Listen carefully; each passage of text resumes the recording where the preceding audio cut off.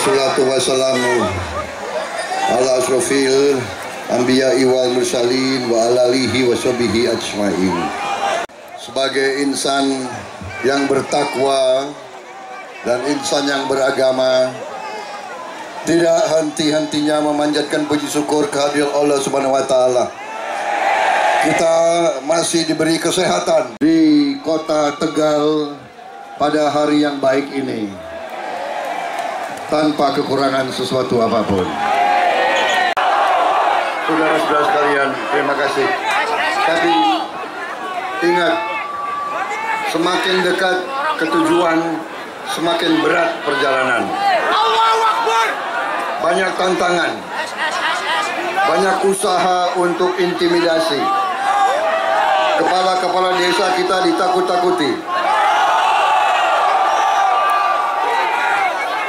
Ada pemimpin-pemimpin bangsa yang lupa bahwa dia jadi pemimpin karena dipilih rakyat. Tidak ada orang yang di yang berkuasa 1500 tahun tidak pernah ada. Orang yang di atas akan turun. Makanya kalau di atas janganlah sombong. Ojo dumeh. Ojo dumeh. Ojo adigang adigung adiguno. Ojo seenaknya sama rakyat. Karena susung karena sesungguhnya rakyat itu tidak bisa terkalahkan. Saudara-saudara sekalian, nanti tanggal 17 April ya saudara-saudara akan memegang kekuasaan yang sama.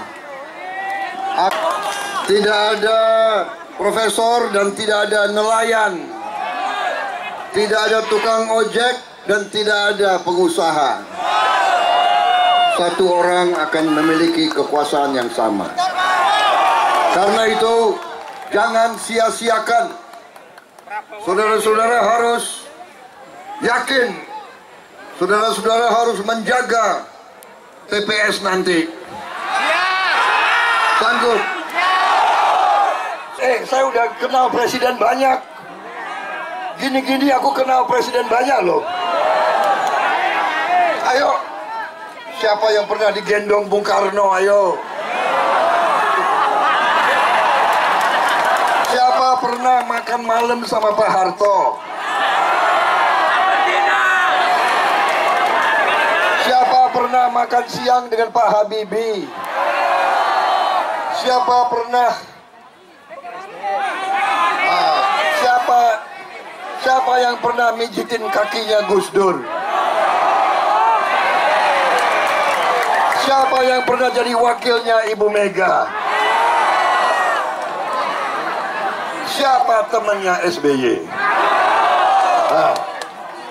Ya, aku kenal dan selalu penyakit di Indonesia. Tahu nggak penyakit di Indonesia itu adalah orang-orang yang selalu mengelilingi pemimpin kita. Yaitu yang saya sebut men watak-watak sengkuni. Yang saya sebut ABS. Asal Bapak senang. Jadi kalau ditanya dulu ya, ini zaman dulu uh, bagaimana uh, situasi di Jawa Tengah? Siapa? Baik Pak, aman Pak. Rakyat bagaimana? Oh rakyat gembira semua Pak.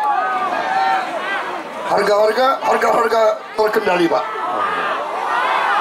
Uh, bagaimana lapangan kerja? Lapangan kerja bagus Pak. Bagaimana sekolah-sekolah? Sekolah-sekolah bagus Pak. Bagaimana pupuk? Pupuk sudah sampai ke petani? Siapa? Sudah pupuk sampai Pak. Ini kerjaan itu kita nggak boleh lagi budaya mental ABS nggak ada lagi nanti. Petani panen import beras. Petani gula panen import gula. Ini negara apa ini?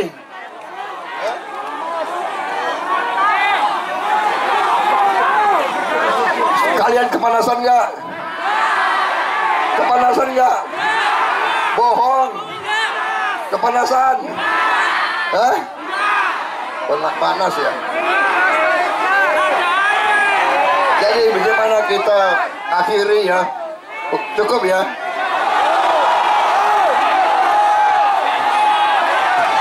Aku kasihan sama mama.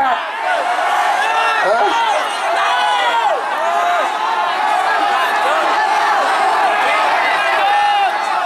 Jadi saudara-saudara, saya saya sudah sudah siap.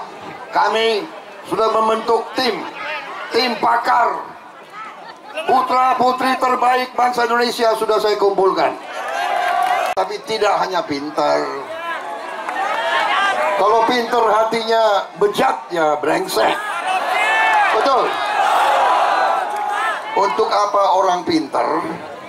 Tapi kepintarannya bukan untuk rakyat. Orang pintar, pintarnya dipakai untuk nyolong. Kita tidak butuh orang pintar. Kalau pintarnya tidak untuk membela rakyat Indonesia.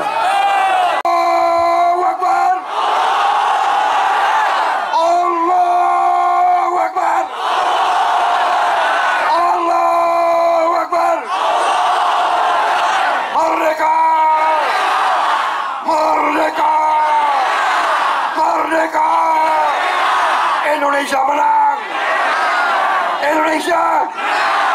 Indonesia. Kalau saya bilang adil, jawab makmur. Adil. Adil. Adil. Kalau saya bilang 17 April, jawab 02. Betul. 17 April. 17 April.